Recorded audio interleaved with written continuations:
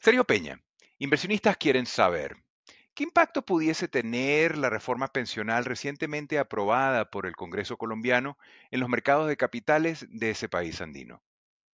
Hola Alejandro. El nuevo sistema pensional pretende mejorar la sostenibilidad e inclusividad, pero también conlleva cambios críticos en la dinámica de inversión del mercado de capitales. Aunque no es inmediato, la mayor parte de los flujos de los recursos irán para el fondo del gobierno, el cual estará integrado aproximadamente por el 75% de la fuerza laboral formal.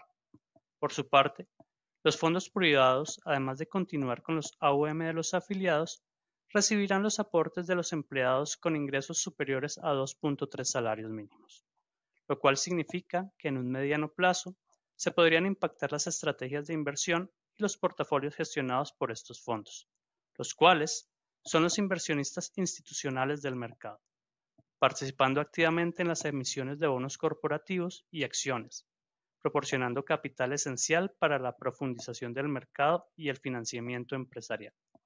Además, puede provocar una reducción en los volúmenes de negociación y de la liquidez en los mercados de capitales locales. Esto puede afectar la profundidad del mercado haciéndolo más susceptible a la volatilidad y las oscilaciones de precios.